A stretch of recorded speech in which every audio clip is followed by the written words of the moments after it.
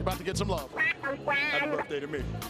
Um, hopefully, you know, we stay healthy and we uh, we continue it. He promised it was going to happen. Video bomb king.